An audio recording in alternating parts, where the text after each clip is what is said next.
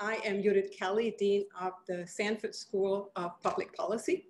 And I'm so thrilled to invite you to the first of our events in our Stand For, uh, Stand For series. This is a series we're doing this fall to honor our founder, Terry Sanford. Terry Sanford said, I've said to students, if you get into politics, you ought to get in with the frame of mind that winning is not everything. And if standing for something defeats you, so be it. Stand for something. And so this fall, uh, the Sanford School is putting on a series of events, Stand for Equity, Stand for Democracy, and so forth. And today, we're so happy that you're joining us for the first one, which is Stand for Justice. A special thanks to the Kenan uh, Charitable Trust Endowment Fund, which is supporting this series in honor of our uh, uh, founder, Terry Sanford. The mission of the Sanford School is to improve lives through teaching, uh, research, and service and engagement. And so this series uh, falls right down uh, the, the line of what our mission is. And I am so excited to welcome our esteemed panelists. And I will especially welcome our moderator today, uh, Professor Brandon Garrett. Brandon Garrett joined the Duke Law faculty in 2018 as the inaugural L. Uh, Neil Williams Jr. Professor of Law.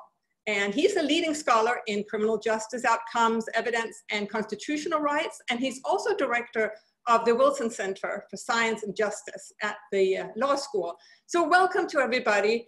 I hope that as you uh, view the discussion today, that you will think about what you stand for.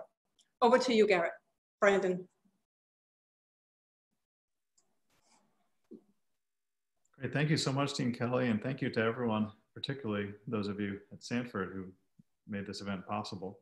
Um, today is the first day that our center has been called the Wilson Center for Science and Justice. We had our launching event earlier, earlier today, and today has been a celebration of the challenges and the rewards of doing tough work to try to turn around our criminal legal system. Um, so hoping our presenters, uh, starting with you, Kassandra, and then Alec, and then Bianca, could each talk for a few minutes about your work, uh, how you came into this work, especially for our students that are still thinking about their careers and wondering what to do next. If you don't mind giving a little bit of your, your early story, I, I think that especially the students in the audience would really appreciate that. Um, and uh, uh, and, and of course, describe what you're doing now. Uh, and, then, and then we'll come back to each of you several times and hopefully you'll also pose questions to each other and we'll get great questions from the audience. And please, in the audience, uh, submit questions in the chat. We're really looking forward to, to your, your thoughts and your inquiries as well. So thank you again, Kassandra. Over to you. Thanks. So, hi everyone. My name is Kassandra Frederique. I am the executive director at Drug Policy Alliance. We are a national organization that works to create alternative policy responses to drug use and drug possession. Um, and so, what that means is that we want to end the war on drugs. Uh, we work on things, popular things like legalizing cannabis. And we also work on increasing access to health services for people who struggle with addiction. Um, we're working on um, also removing criminal penalties for drug related issues. And so we have been we've been around for 20 years. This is actually this summer we celebrated our 20th anniversary. Um, and we do work at the state level city level as, as well as the federal level. Um, what's really exciting about it and really important is that we look at drug policy not just as a domestic issue, but an international one as well. So much of what we've done around drug policy has been exported to countries um, around the world, um, and in some ways that have been beneficial, like introducing harm reduction um, in different parts of the world, like in Brazil, to the draconian ways that we look at punishment and deal with people who use drugs as what we see in the Philippines um, and in parts of Asia where there's a lot of extrajudicial killings for people who possess drugs. Um, we fund a lot of draconian policies around drugs as well as what we see in Latin and Central America um, with militarized policing. A lot of the things that we see in the US, whether it is the ways that our policing systems have been um, um, militarized with tanks um, and tear gas, a lot of that can be funded through the drug war. And oftentimes it's funded through the drug war and the war on terror. And so there are so many different avenues that we do this work in, um, and we've been involved in most of it. Uh, I want to be really clear to the students that you don't actually have to know what you want to do by the time you graduate. Sometimes people fall into the work um, based on where they're from or what they think about. So for me, I actually just started as the executive director two weeks ago. Um, and on uh, September 25th, it will be the 11th anniversary of when I started at DPA as an intern. So I started off at DPA as an intern. Um, I was in grad school in the social work school. And in social work programs, you do classes and you also have a field placement. My first year field placement was in a middle school in the South Bronx. And my uh, second year placement was supposed to be at another criminal justice organization doing court mitigation. Um, but that fell through when the internship supervisor at the placement and the internship supervisor at my grad school got into an argument. And therefore, I couldn't do the internship because the internship supervisor at my grad school was like, fine, I don't like you either. And my student's not coming. And I was like, no, that was my top choice. And so then, oh man, yeah. So then I went to DPA. I had no idea what drug policy was about. In fact, I was like, oh, perfect. I'm at Drug Policy Alliance. I'm going to fill out an application to work for the federal government to work with them on drug policy. And everyone at Drug Policy Alliance laughed because they were like, no, no, we're on the opposite side of them. And then I was just like, wait, what? So then I thought I wasn't going to have a job. But then I just stayed at DPA and I learned tons of things. Um, and so part of the reason I say that is because I think it's really important for people to not to be committed to what you think your life is supposed to look like because sometimes policy work you'll find different ways for you to engage and as someone who grew up in giuliani new york it has been the pleasure of my life deconstructing the policies that he built my childhood around and so things like um, the marijuana arrests that he like elevated um, as a part of broken windows policing. The work that i've done has dropped marijuana arrests in new york by 98% in the last 10 years. Today we um, are putting forward expungement for the first time in, in new york state. Um, the kinds of supports that we have for harm reduction are world class these are all things giuliani fought against. And so it's really exciting to be in this moment um, taking one of the most draconian executives um, that has run New York City and taking his policies apart bit by bit. And so I'll stop there. It's so wonderful to be with my friends Kassandra and Bianca. And thank you, Brandon, uh, for inviting us and, and giving us the space to talk about our work. Uh, and also to you, Judith, for, for hosting this event at, at the Sanford Center. My entry into this work um, started uh, as a public defender in Alabama. And I worked every single day representing uh, human beings who were too poor to afford a lawyer who were charged with federal crimes. And uh, doing that work, I saw things that really shook me to the core.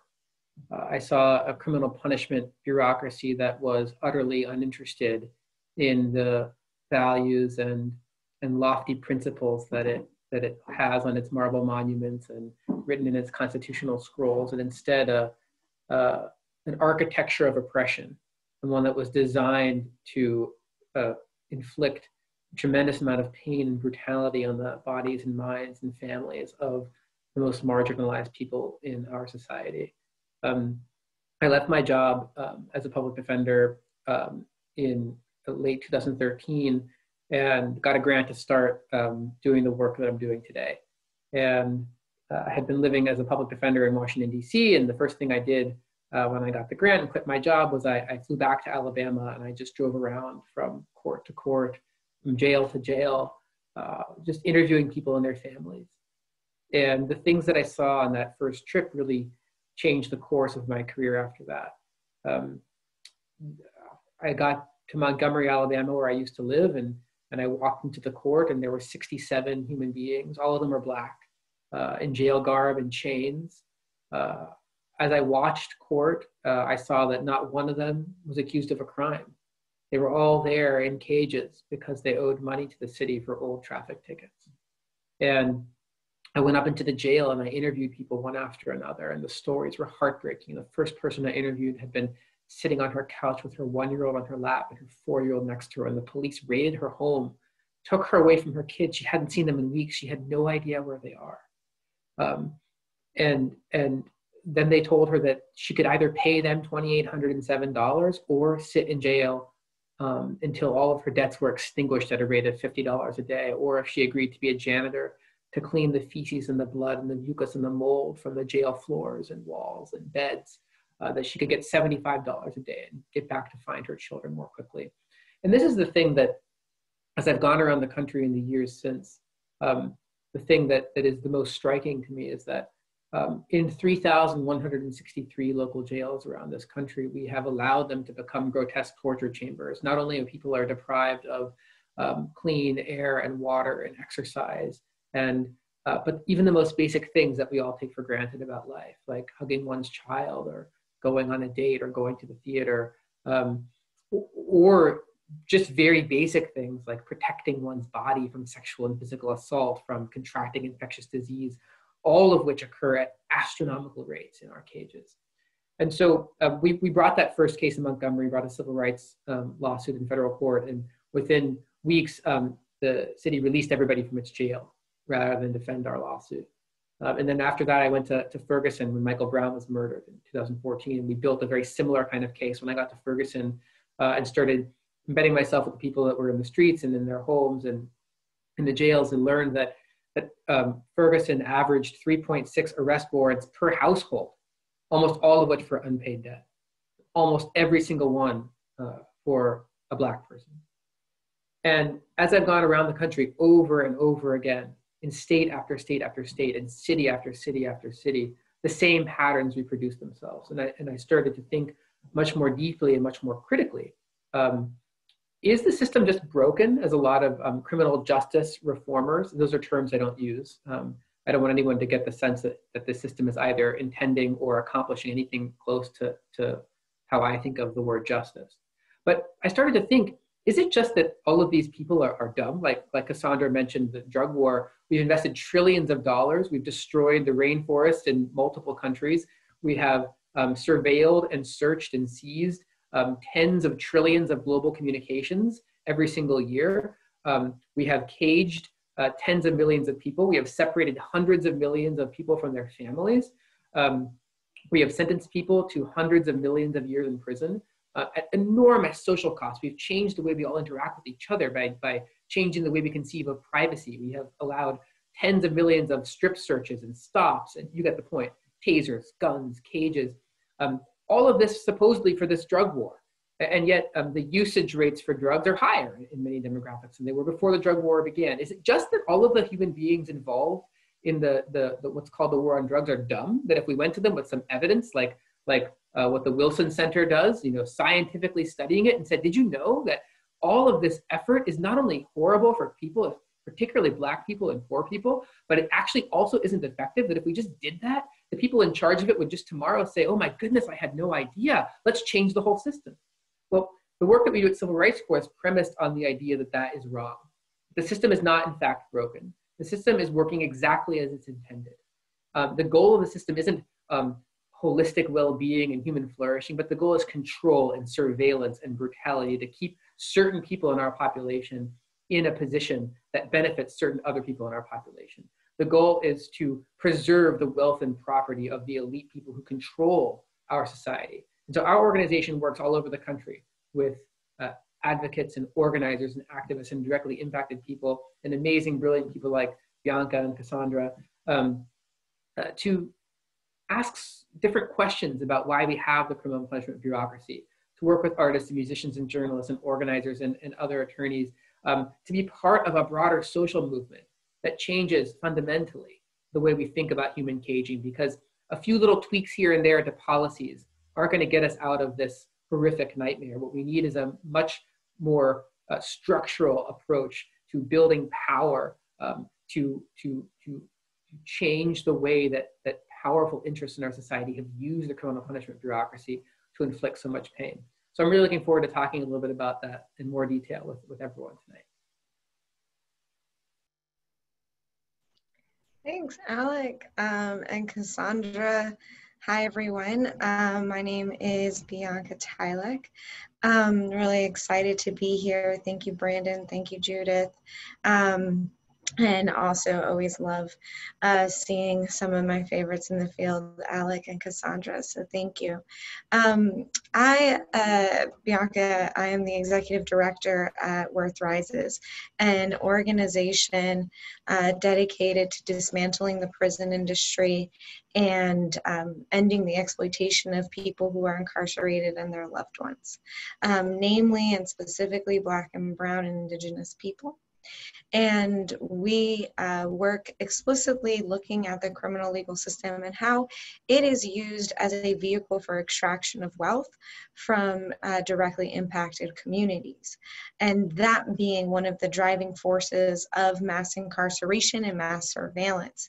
Uh, we really look and strive to build a community um, in which, in a society in which no entity or individual um, depends on human caging or control, that means mass incarceration or surveillance, um, for their wealth, operation, or livelihood. That means whether you're a CEO of a private prison company making $6 million a year or you're a correctional officer making $30,000 a year, we want to shut down the industry and shift the economy away from the caging and control of human beings. Uh, and so we do that in a, in a variety of ways, um, but namely through shifting the public narrative and really exposing the prison industry. Um, and, you know, I, I want to clarify that when we talk about the prison industry, we are not just talking about privatization. Again, we are talking about all of the financial actors who have an interest in this system and who utilize the system as a vehicle for extraction. And so that includes the private sector, but it also includes government. Um, Alec, you know, was mentioning uh, fines and fees, right? So things of that sort. It also includes labor. Um, so a lot of labor institutes, uh, particularly correctional officer labor, police union labor, um, that strives to uphold and maintain the system. Um, and finally, it also, in some cases, uh, includes some really unethical nonprofits, um, it's often surprising for people to hear that, in fact, prison labor um, in many states is run by nonprofit institutions um, that were created by the state. And so we think of all of those actors as part of the prison industry. The prison industry is an $80 billion um, space and more than $80 billion. That figure is even a few years old now. And it's divided really into 12 uh, unique sectors from uh, food and commissary to healthcare to telecom. Um, all of those different features have been commodified um, and corporatized in, in our uh, prison system. And we are often working to try to unpack what those mean. And so, what we're probably best known for now in our work um, is our work on prison phone justice, um, on the campaign side of things. And so, that is uh, our work to combat the $1.2 billion prison telecom industry that charges families as much as $25 for a simple 15 minute phone call to be in touch with a loved one who's incarcerated. Um, means one in 28 children who face, incar- face the parental incarceration um, are often subject to that cost basis as one that interrupts and disrupts their relationships with their parents. Um, in fact, one in three families goes into debt trying to stay in touch. And so that particular piece um, is one that we're really trying to unpack. And we've been doing that from a lot of different directions. We usually combine one of the things that we found to be effective in, in our campaigning is combining corporate campaigns with policy campaigns to toxify an industry, um, threaten uh, sort of capital um, through investors and all of that, and at the same time, um, break down the policy that allows for these industries to flourish. And so by doing that, we've lost um, the prison telecom industry more than a billion dollars in the last year. Uh, and in a few particular uh, states and jurisdictions been able to move um, first in the nation legislation uh, that made phone calls entirely free for those populations. And so that we've passed our first bill, Making Phone Calls Free in New York City in 2018, um, which made which saved directly impacted communities roughly $10 million a year and opened line of, lines of communications for those who couldn't afford it in the first place. In fact, 38% um, increase in phone uh, call volume overnight. Uh, and then a year later, we're able to do the same thing in San Francisco. And now we have um, statewide bills in Connecticut, New York, Massachusetts, um, and bills on the federal level. So we also do work there.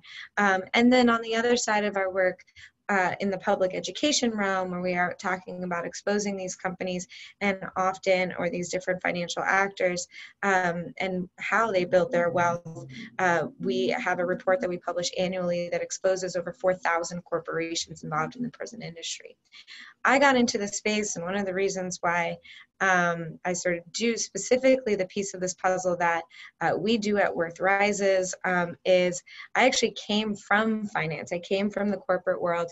I um, spent four years working at your big banks um, in uh, on Wall Street and uh, and spent that time before heading back um, to school uh, and uh, you know, pursuing um, a law degree and coming out and starting uh, Worth Rises to really sort of pair a number of these different types of skill sets um, from sort of policy and the legal aspect, but also this financial lens um, and understanding where the vulnerabilities of both public and private corporations exist and how to undermine revenue models um, built around the exploitation of marginalized communities. Um, so that's sort of my background. That's um, our spiel, and I'll sort of stop there. Thank you, Reed, so much. And I see we have more than 80 participants, so come on, send your questions in. We have just one question so far in the Q&A, but hopefully we'll have 82 more. Uh, and uh, one question was, which I was hoping you could each talk to, uh, and I think you could each speak to it in really, really interesting ways for our listeners and viewers, is to talk about how you view your work and your organization's work in connection with community activists, especially, you know, things have changed over the summer, given the scale of racial justice protests across the country. How do, you, how do you view your work in relationship with those movements? Obviously, it's different if you're doing a policy report or digging into the finances of the prison phone industry or bringing a lawsuit. Um, and yet, you've each talked about some ways that you are deeply connected with the activist community. I, I would love for each of you to describe your, how you view your role in connection with activists. You go in the same order or go in reverse order? Do you want to start, Kassandra? You know, I actually had a conversation with some folks um, last week where I talked about how I think that in order for us to make sustainable change, um, the work that we have to do on the ground um, is to change hearts and minds and change the way that people think about um, issues. And that policy is actually about codifying that change um, because I often feel like people think that we have to start with policy, and changing policy is what is going to change people's hearts and minds.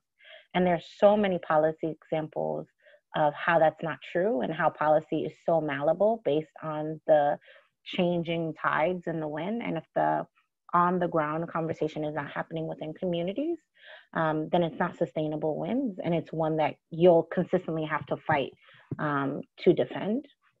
And so I often think that good policy can't happen without um, converse, without it being driven by the people who need um, their hearts and minds changed. I often find that that if we have to create laws in order for people to be respected, we've we've already we're already fighting a losing battle. Um, and so I find that our work with um, communities is integral to the way that we build um, accountable and policy campaigns with integrity.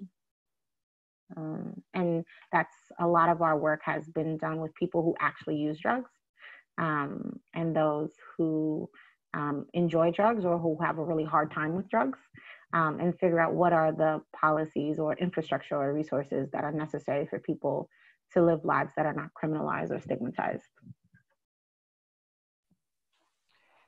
That's such an important question. I think it's important first to start with a political analysis you have to understand why and how the world looks the way that it looks. I apologize. I just started cat sitting for these two kittens and they keep trying to jump in front of me. Especially when I start talking about capitalism, they sense it. I was about to mention capitalism.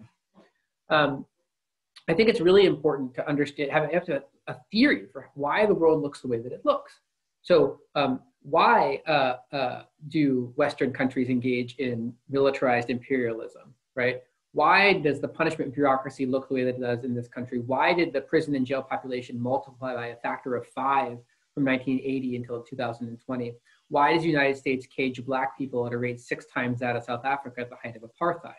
The answers to those questions don't have anything to do with um, us not understanding good policy.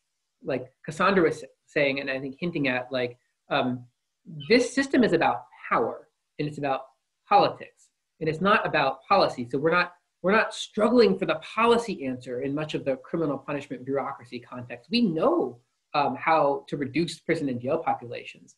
We know how to create a system that doesn't extract wealth from people and exploit them and cage them and brutalize them. Most of the world does it. This country did it for the first 200 years of its existence. Um, what, what we have to think about is um, these problems are really one of power. Um, and so um, how do you build power? Well, I don't think it's coming up with the best legal argument in litigation or the best policy argument for, for legislators. Um, I think it has to do with how do you organize people and how do you organize them to build relationships and power that the people who control our society must listen to. And, and I think, and at least as a litigator, um, because most of the work that I've done uh, over the last few years has been using litigation to challenge the money bail system, to challenge debtors' prison systems, to challenge the you know, taking away people's driver's licenses because they can't pay, to sue prosecutors, to sue police. So it might be kind of strange coming from me that I actually don't think litigation is really the, the, the way to, to build power. But what I, what, I, what I think is important to understand is that the courts in this country um, have never been uh, an agent of social change. They've never been at the, at, the, at the vanguard of social justice. Courts are political institutions that respond to political realities. So, for example, um, some very smart lawyers brought challenges to um, same-sex marriage prohibitions and um, other similar um, discriminatory laws in the early 1980s. And they lost in virtually every court they brought them, and they lost in the US Supreme Court. A couple of decades later, some of the same lawyers and some very smart other lawyers brought similar challenges to same-sex marriage bans. And this time they won, using the same six or seven words in the 14th Amendment. Now, what happened? Did their legal arguments become better? Did lawyers become better at making arguments in court? Um, did the Supreme Court suddenly become an institution of social justice? No. What happened was there was a social movement in between that changed the way we all think about same sex marriage and changed the, the calculus of people in power in our society about who they could exploit and how. And so a similar uh, corollary is Brown versus Board of Education, probably the most famous Supreme Court case in modern American history. Um, uh, but you can you can issue a legal ruling like that. Um, and then that says, you know, um, segregation in schools is unconstitutional. But then 10, 20, 30, 40, 60 years after Brown, you can have segregated schools to even a greater extent in much of the country than prior to Brown. If you don't address the underlying structural inequalities, white supremacy and capitalism, and, and, and the control of our society with people who own things, um, these systems are going to keep reproducing themselves. So in our work, um, we're constantly thinking not about winning a legal case or a legal argument. We're thinking about who are the organizers and activists and, and ordinary people on the ground, hopefully and typically led by people who've directly experienced the harms of these systems, and asking how can the, the legal skills that we have fit into a, a movement that they're building? Um, because unless they build that movement and change the balance of power, the same systems that we're fighting against, we might even win a legal victory but the same system will morph into a new mechanism of oppression with a different label. We can get rid of something like cash bail, but the punishment bureaucrats who control the criminal punishment system are going to replace cash bail with pretrial detention. And the same people are going to be kept in jail for a different, with a different label and a different supposed reason, unless you build power that says, we demand that you liberate and release our people from jail. That's how we sort of think about our very, very limited role as lawyers. Yeah, I'll too. I mean, I think all of all of the points that Kassandra and, and Alec raised are super important. For us at Worth Rises, we actually just we think about one really um, phrase in particular, which is that if we don't carry the burden, we don't make the decision.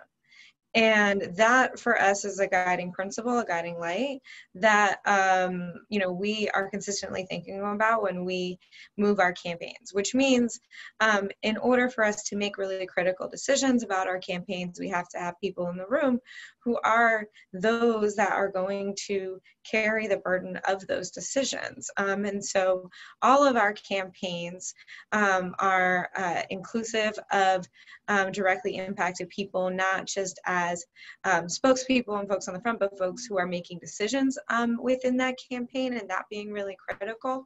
Um, we, our team, is made up of, of um, some directly impacted people and we are consistently working with uh, directly impacted people uh, and for us you know i think we try to go even further than just saying people who have experienced the harm in the system um, but people who are con- continuing to experience the harm in the system. So we work with a lot of people who are currently still incarcerated um, and um, working to elevate those voices and make sure that people on the outside are still hearing them. And that has looked like a lot of different things. Um, that looks like regular like phone calls every day.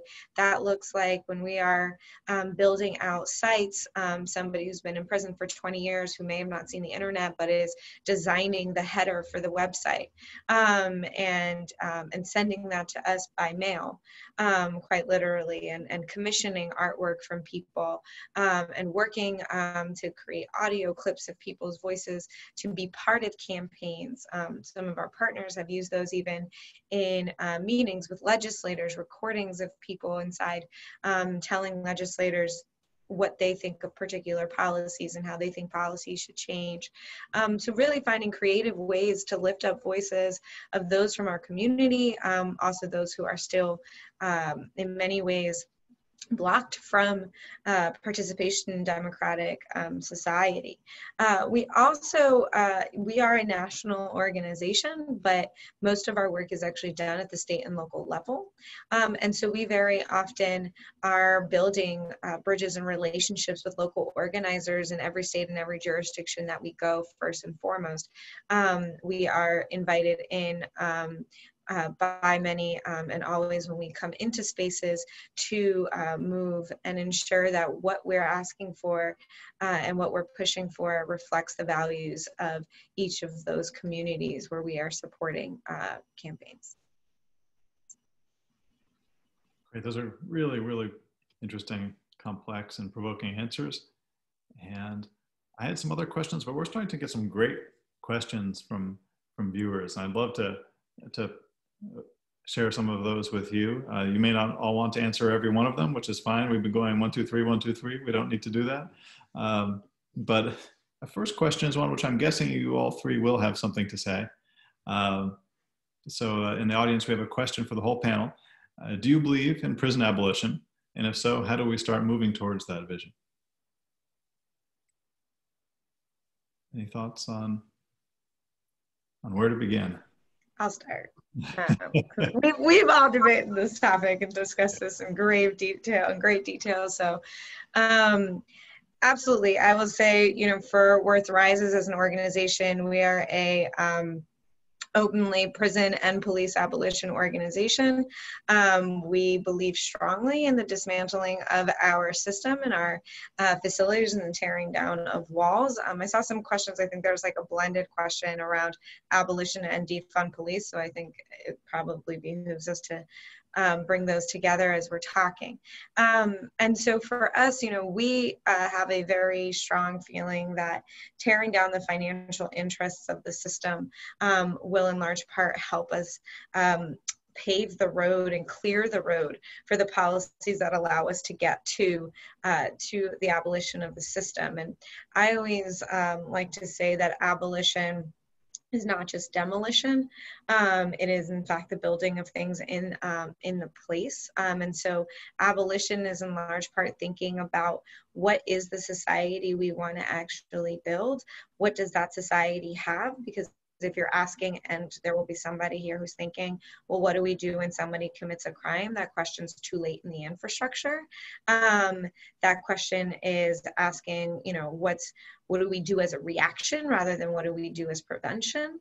Um, and so thinking about how do we build a world where um, we uh, excise all of the factors that lead people to make decisions um, that would be um, considered criminal. And we can also get into a question about whether all things that are criminal um, and what what things are criminal and how that's decided by white wealth, but that's um, sort of a separate question. Um, but on this, you know, I think really think thinking about how we institute the healthcare, the education, the housing, um, all of those social structures for those who need them, the treatment services um, for either substance abuse or um, or mental health uh, concerns and things like that. How do we actually create the social structures that allow us to um, prevent people from uh, necessary decisions around crime? Um, and rather than, as one particularly poignant, um, uh, currently incarcerated activist um, recently said, stop asking, you know, what's wrong with somebody um, when they commit a crime and start asking what happened to this person. Um, and, and sort of unpacking that and that being the road to abolition um, in many ways and understanding that intersectionality between um, uh, prisons and policing, right? And and so for us as an organization, we also are supporting many of the defund police uh, calls to action. And one of the things that we're in particular contributing to that conversation is an understanding of exactly how police are funded.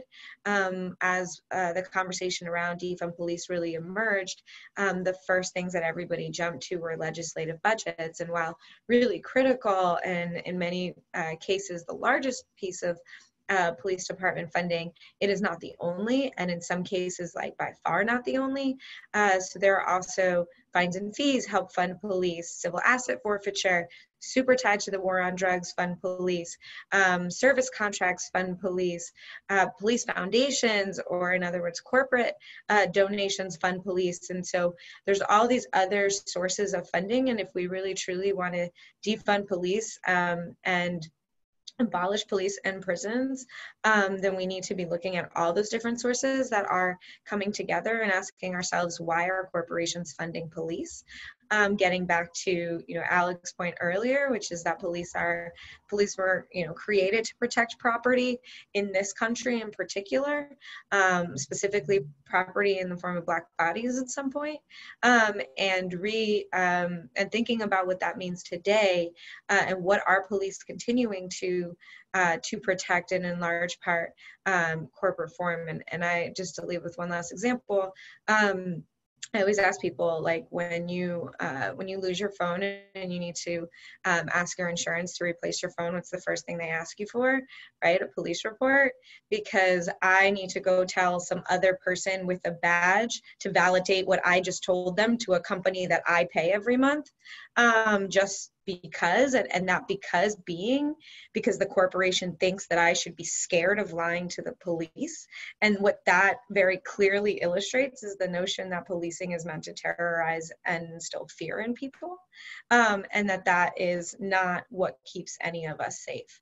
Uh, and so you know for us i think we can say very very clearly that um, where we stand on that question um, and what we want to see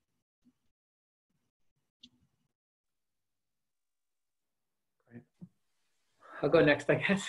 Um, I have lots of thoughts about this. Uh, I've written quite a bit about this, so I'll try to I'll try to keep it brief. Um, I I think before we even have a discussion about abolition, we can all agree that the vast bulk of the criminal punishment system that exists now today in this country is completely absurd. Um, before we even get to difficult questions like how do you um, deal with a situation where someone has caused real harm to someone else. Um, that's not what most of what's going on in the criminal punishment system. So, um, 96% of all police activity is for non, what police themselves call non-criminal uh, and non-violent um, behavior. Um, only 4% of what police themselves, I mean, again, I'm using the words of police themselves, um, is only 4% of what they do is dealing with violent crime, so-called violent crime. I think that the notion of what is violent and what isn't violent is heavily socially constructed by people who have power. They want you to think certain things are violent, but certain forms of, of deep structural violence that, that kill way more people and, and, and harm way more people aren't violent at all.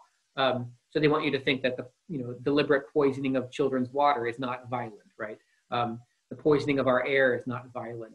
Um, the, the um, sexual assault in jails don't count in violent crime statistics. I could go on and on. But um, so if, if only 4% of what the criminal punishment bureaucracy is doing is, is this sort of violent crime that it holds up as its entire basis for existing, um, then I think we can all agree that, um, that, that much of it can be, can be um, deconstructed and this bureaucracy can be dismantled um, without even getting to this, um, I think, fundamentally difficult question, which really troubles a lot of people. What, what would we do without police in prison? What would we do with, with the really bad people, right? That's the, the question I get a lot, right? Um, in addition to what Bianca said about like sort of problematizing this, this, this, this idea that there are bad people, um, I think what's really interesting to think about um, is uh, when, when someone says to me, I can't understand how you're an abolitionist, I just don't understand what we do with the people who are, who are really dangerous. I, I think those people are trying, are imagining a world that looks exactly like our current world, with just all the police and prisons gone. Um, that's not the world that abolitionists are envisioning. Abolitionists are dreaming of a different world that is so fundamentally different in terms of the trauma and despair and alienation that people are subjected to and the poverty um, that, that, that, that creates so much desperation and need and conflict um, the toxic masculinity that is, that is rampant in our society and correlated with so much violence in our society. These are things that abolitionists um, are, are working to eliminate from the world um, one of the most amazing uh, abolitionist programs that I've ever come across is a program called Success Stories, which was, which started by a, a, person that I think we all know um, named Richie Edmond Vargas. And, um, and, and, Richie's, uh, when he was in prison in, in California, he, he organized uh, for years and created a, a community um, that, that studied together radical feminist literature. And the idea behind it was that um, most of the violence in our society is the result of toxic masculinity. And what would happen if we really delved deep and, and eradicated that from our from our lives? And then the people that go through that program the first year, then facilitate it the following year when they get out of prison. Now that now that Richie is out, he hires them and they go into other facilities and, and, and, non-prison environments as well. it's incredible um, the results that they get. This is this is an abolitionist intervention. This is something that's intervening in what's thought to be the, the, the, core reason that our entire system of police and prisons exists is about violent crime um, in a way that doesn't involve um, caging people away from their families. It doesn't involve brutalizing people. It doesn't involve putting people in solitary confinement. There are 300,000 human beings right now as we have this conversation in solitary confinement in this country, in a locked box with no natural light and no books and no human contact. Um, that breaks people, that changes people, that creates trauma and despair, that then leads to cycles of, of, of what people call violent crime. So I was recently debating uh, the Houston police chief on, on the radio. Um, and he started screaming at me that I was a, you know, abolitionist, like uh, Antifa kind of guy, you know, the, the sort of Trump talking points.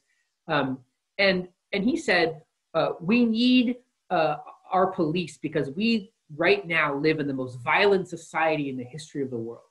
And so I said to him, um, well, the Houston Police Department budget is $960 million a year, and the sheriff's office budget in the same town is $560 million a year, and there are 60 other police, police uh, um, departments just in Harris County, Texas alone. Um, and you're spending tens of billions of dollars a year on the incarceration complex in Harris County, and you still have the most violent, dangerous society in the history of the world, well, shouldn't that tell you that something about what you're doing isn't working? And that we might want to try something else to, to address what we all have a, a need for, and that is safety and well being. We all want to live flourishing lives with our families. Nobody wants to be um, harmed, and nobody wants people to, to be subjected to physical assault. Um, but the question is, how do you create a society where people have the connections to each other and their material needs are being met so that they don't engage in behavior that's harmful? And that when they do engage in that behavior, we don't re-harm them by throwing them in a cage where they're likely to be assaulted and, and, and brutalized again, but we hold them accountable in a way that actually is meaningful for the people they've harmed. And that's, I see a question in the box about restorative justice, and perhaps we can have time to talk about what that might mean a little bit later. But I've already been rambling too much because once you ask about abolition, I can go on for days. So I'll just stop there and let Kassandra uh, address it next. So I want to make sure that we get to the other questions in the box. So I will say I, Kassandra Frederique, am an abolitionist in prison and police. I will say that Drug Policy Alliance's uh, trademarks uh, statement is no more drug war. Um, and that is specifically no more drug war, not just a little bit drug war. So our purpose is to abolish the drug war in all its forms and facets. So through criminalization, through surveillance, through punishment. Um, and I think when we have the larger conversation, for us, you know, I take into um, great um, space what my notorious RWG, Ruth um, Wilson Gilmore, says, which is that it's less about figuring out if we are abolitionists and more about like, is your work trying to abolish the conditions that make the, the carceral state possible? Um, and that is squarely what drug policy does. It's like, how do we abolish the conditions that, that make substance use a, a, a platform and a feeder into mass criminalization, surveillance, and punishment? And so that is a lot of the work that we do. And I think for us, that is a great frame because we recognize that carceral policies are not just in jails and prisons, but are also in our care systems. So the ways that treatment facilities are set up, the way that schools are set up, the way that hospitals are set up, the way that jobs are set up, that people that use drugs are often dealing with carceral structures. And there's a praxis that is put um, that is used to, that is employed to navigate people who use drugs. Um, and we want to abolish all those conditions. Um, and so that is in the way that we frame our work. I'd love if, if some of you have thoughts on this question that we received on communication, social media, performing arts. What is the role of communication and art in affecting how people conceive of some of these problems or how people can envision a different society? Yeah, I'm happy to weigh in on this one. Um, uh, also an artist, and so also an oil painter, and, and do a bit of this myself, but we also do it within the organization. And it was kind of starting to touch on this earlier that we commission pieces from people inside. Um, but we actually uh, really believe in the power, the transformative power of arts to have a conversation with the public that's very different from the kind of conversation we can have. Um, um, that we can have as a as policy advocates as attorneys as organizers. Sometimes you know our um, rhetoric will not land will not um, really um, pierce that um, that wall that people have up um, the boundaries that people have up but art has such a different capability of doing that. And so we really leaned into this um, originally um, when um, back uh, in 2018 we had uh, a art exhibit um, where we collected pieces um, uh, actually put a call to artists out who are in prison um, and specifically on our mission on the, the concept of the commodification of people who are in prison and their families. And the exhibit was called capitalizing on justice and you know we sort of lofted some ideas um, there and invited artists in prison to submit uh, pieces and we you know got pieces from all over the country um, and ended up curating an exhibit with formerly incarcerated artists who are out um, and a really beautiful curator nicole fleetwood who has um, a exhibition right now at, um, at the MoMA PS1 Museum in New York. Um, but and studies the impact of art on people who are incarcerated and put together this really beautiful um, exhibit where people took this idea of capitalizing on justice in really um, remarkable directions that we um, may have not um, conceived of before.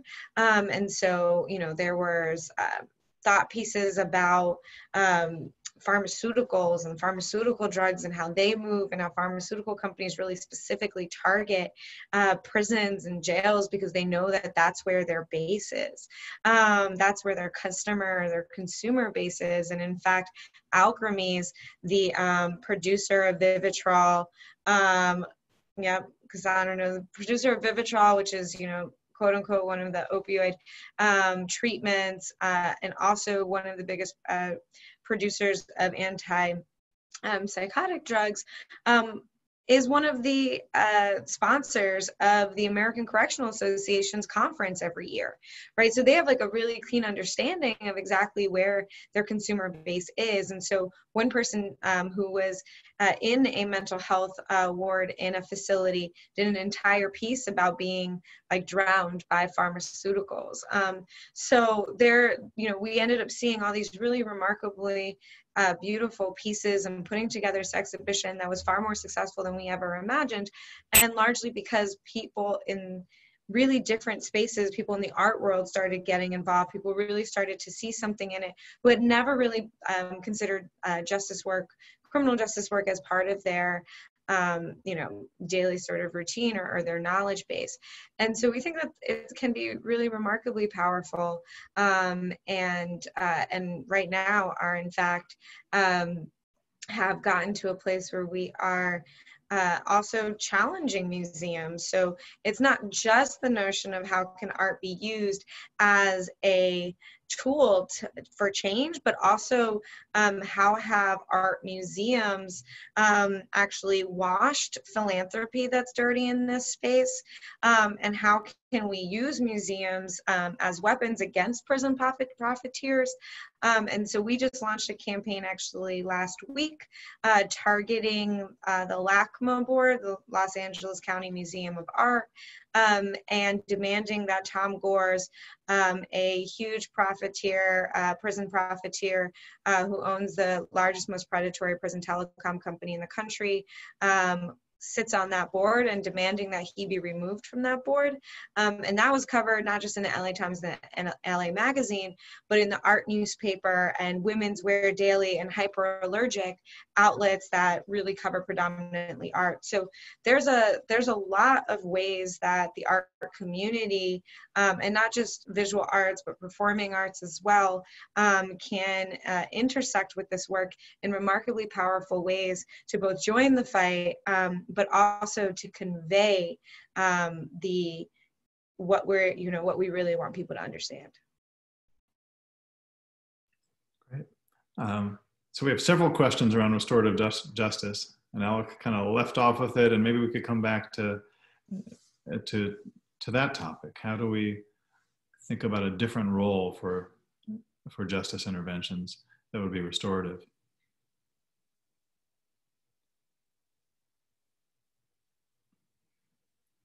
Uh, since I mentioned it, I'll go. Um, I'll also note that that I, I, just wanted to highlight the importance of, of the arts. Uh, we have a artist in residence and a poet in residence at Civil Rights Corps each year, um, who are formerly incarcerated artists and poets um, who, um, through their work, um, are reaching people in different ways and are changing the way people think in ways that we can't do with legal arguments.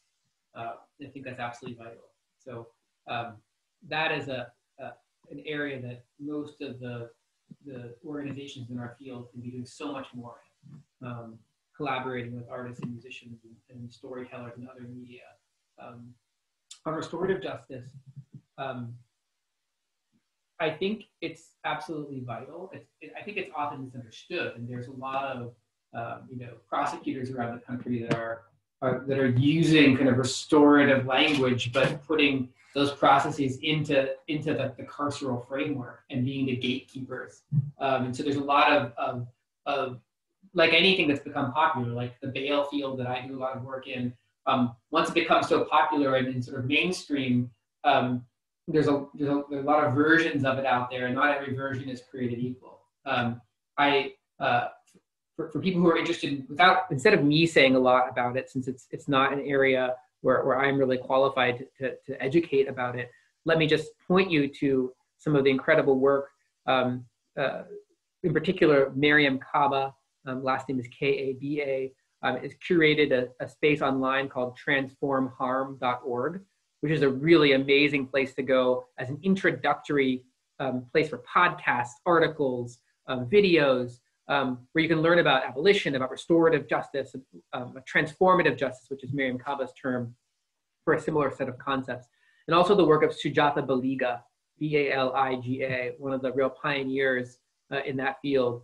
Um, and then a, a, really wonderful recent book that was written called Common, um, um, uh, called Until We Reckon by Danielle Sered, S-E-R-E-D, um, who runs an organization in Brooklyn called Common Justice. Um, and all, all three of those people are, incredible practitioners in different ways um, of, of, restorative and transformative justice principles. And I, I, I really just want to point you to their work.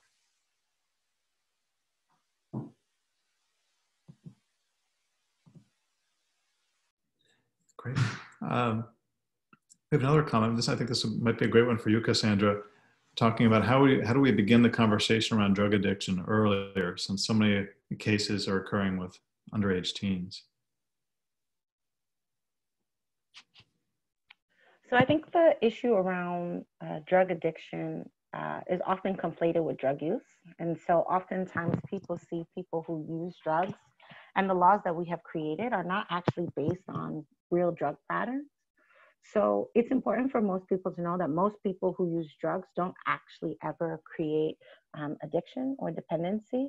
Um, that it's between the percentage of 10 to 20% of people who struggle with drugs. And all our policy is geared towards that. And so I think there's a couple of things. You know, when Bianca talked about art, I think so much of our drug policy and our information about drugs is pushed through either politicians that are trying to be tough on crime or TV and movies. So much of the way that we see drugs is through the um, lens of mass media. And it's been um, super reductive, super stigmatizing, and never gives any never gives us much information. And so I think there's the conversation about, there's multiple conversations about why do people use drugs? What do people need to, what do people need to thrive if they continue to use drugs? And, you know, what is the harm for people using drugs? Like not the harm for themselves, but what is the harm to general society? And so I think those are questions that are really struggle, that some people really struggle with because it means that um, it uh, it violates people's sensibilities around drugs. Um, and then we're having a conversation. And when you have the conversation about drugs within a conversation around the criminal punishment system, you're talking about people's individual choices about what they do with their bodies, right? And so we are, one of our guiding principles is bodily autonomy. And oftentimes, what drug policies and the criminal punishment system is around creating laws that have to do with regulating what people are able to do for themselves outside of others. And I think when we're having a conversation about drug addiction, then it's then the conversation really is if you stabilize people in other ways through housing, through employment, through familial support, you'll find that people's problematic use can stabilize. Most people don't recognize that a lot of people who struggle with addiction, they stop using not because of treatment. Treatment has an 8 to 10% success rate. Most people stop using drugs because something in their atmosphere has shifted. Be it they moved away, be it they have a, a relationship that they feel worth fighting for, they get housed. And so, a lot of the questions that we struggle with, where we try to regulate through policy, if we actually recognize that sometimes drug addiction is a symptom of a larger issue, and we actually dealt with the surrounding infrastructure and realize that criminalization exacerbates addiction and doesn't actually deteriorate addiction, uh, deter addiction, um, we would be in a different place. But to my question around how do we start the conversation around drug addiction earlier, um, and talk about young people, I think we need to have a massive shift in the way that we talk about drugs in mass media. Um, and I think we need to give people information about drugs that's not if you use marijuana, you will use heroin the next day. It's like if you use, you know, instead of um, if you use this kind of drugs, you should use roughage because it's going to back you up. Or if you're going to use this drug, don't use it at night because it's going to keep you super awake. Or if you use this drug, don't mix it with this drug because that will kill you. I think we need to give people science based, reality based um, information and give people motivation, motivating, um, have motivating conversations with people that say, listen, if you are young, of color, in the inner city, using drugs is going to exacerbate the circumstances that you're already navigating. And that's fine. And these are other things that can reduce the harms associated with it. And I find that the, a lot of the way that we talk about addiction right now um, is not based in that reality. It's based in fear and stigma. Um, and that's not motivating in any way. And it doesn't deter most people. Just one more question, which I know we're a little bit over, but we've, we've given permission to talk a little bit longer. A question which I think is really important for our audience, especially here at Duke. The question was, how can undergraduates um, get involved in organizations like yours, get involved in the broader movements and types of work, whether it's artistic, advocacy, litigation, community building. What are your thoughts about looking back to to your own undergraduate experiences or the undergraduates that you have working with you? What, what, what are things that students can do today to, to, to make a difference?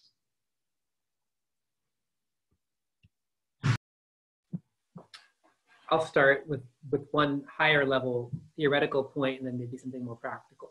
Uh, so at a high at a high level of generality, I think it's very important very early on in your life to fortify your mind against the sort of relentless uh, propaganda um, and cruelty of our society.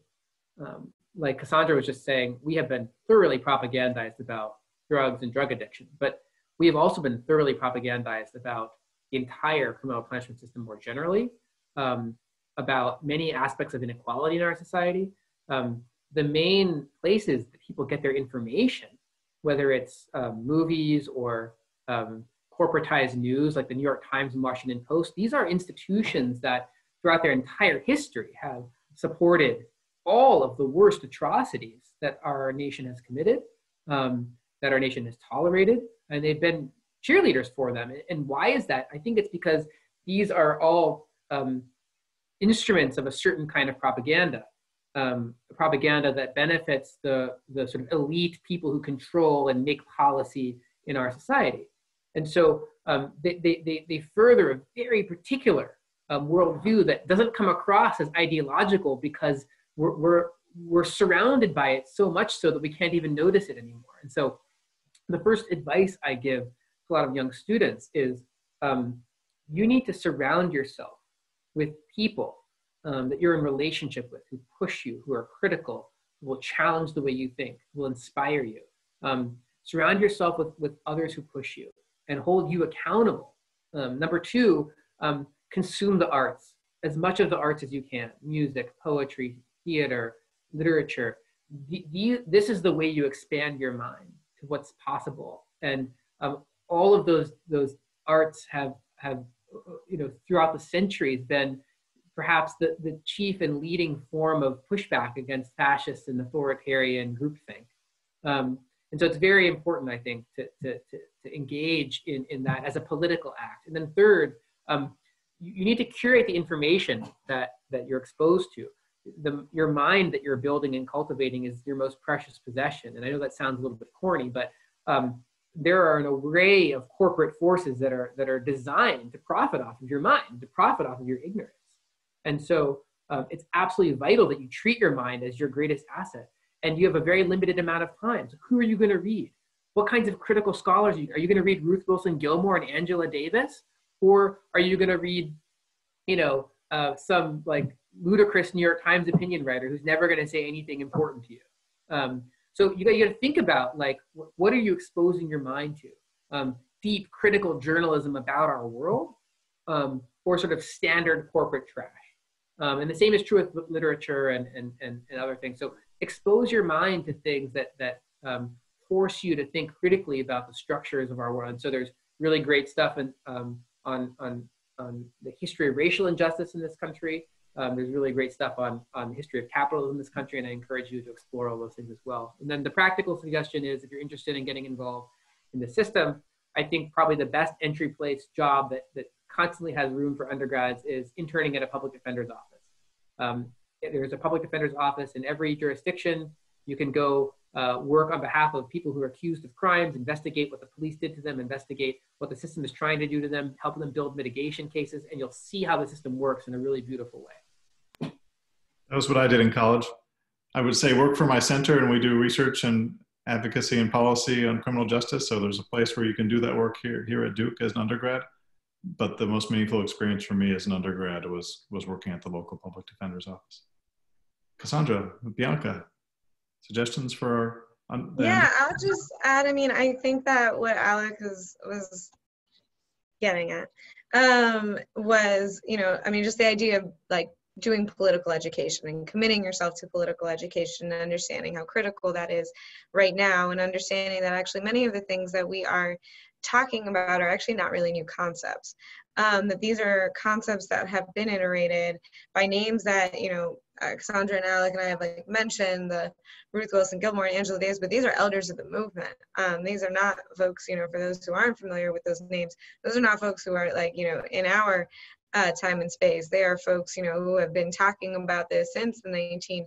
Um, 60s and and you know and, and these notions of abolition and defund police are like antiquated in many ways um, but also now seeing the surface in some and so really um, you know diving in and and thinking about your own political education uh, and and what your spirit sort of um, your mind and spirit needs sort of in this moment um, and then you know i'd also uh, mention i think volunteering interning right for different organizations. Kassandra, I think, you know, shared a really beautiful story, and she's ED now of an organization that she used to intern at um, as a graduate student. And so, really um, uh, elevating that. I think also um, hopefully everybody will go around the same, but like follow our work, right? So um, go to our website, sign up for newsletters because, you know, we send out actual actions that you can do every week. Like everyone right now can get on the computer and go and sign the petition to remove Tom Gores from the LACMA board. Sign petitions, they're actually really effective. Um, right? You can follow us on Twitter, on social, on uh, Instagram, and other social media. For us, um, just at Worth Rises, um, but where again we are sharing um, regular action items um, that we encourage you to participate in, but also to then share with your friends and um, and do things like that. Like when we are having a campaign and we want to uh, do a call-in day to legislators. It's always super helpful to have some volunteers or to have people who are uh, moving those things um, around and encouraging people to pick up the phone um, and call somebody. So um, I think all of those different things I would encourage um, you to do so that you can stay abreast of exactly what's happening. But there are daily opportunities to take action um, that are sent out by all of our organizations. Um, and uh, and you know you can participate in that by simply following the work.